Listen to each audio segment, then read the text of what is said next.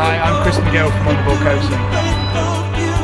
Hi, I'm John Adams and I'm from On the Ball Coaching. Hi, I'm Laura from On the Ball Coaching.